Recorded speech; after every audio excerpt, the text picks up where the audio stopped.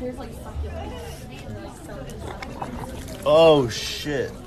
Fuck that. Did? Yep.